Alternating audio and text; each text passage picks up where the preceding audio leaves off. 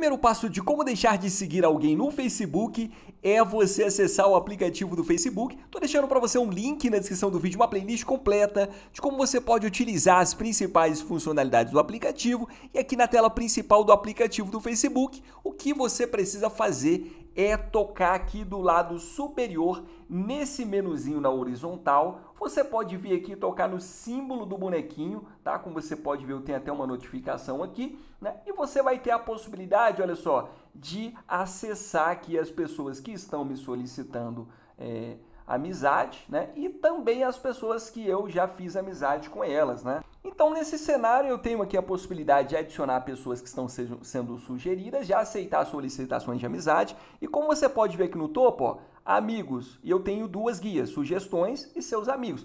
Sugestões são essas guias aqui, é, são essas opções aqui abaixo. Seus amigos são aqueles que adicionaram você de alguma forma. Então eu vou tocar aqui em um desses perfis aqui do lado no menu três pontinhos, na verdade nessa tela eu vou tocar aqui no menu três pontinhos e logo em seguida, olha só, eu tenho as opções enviar mensagem, deixar de seguir, bloquear o perfil, desamigar.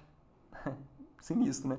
Então aqui eu vou tocar em deixar de seguir, né? Pare de ver publicações, mas mantenha a amizade. Ok. Então deixei de seguir, né? A partir desse instante eu posso tocar no menu três pontinhos e seguir novamente se eu quiser, tá certo? Então é bem simples, bem tranquilo. E se esse vídeo te ajudou de alguma forma, se inscreve no canal. Eu sou o Thiago, te vejo no próximo vídeo.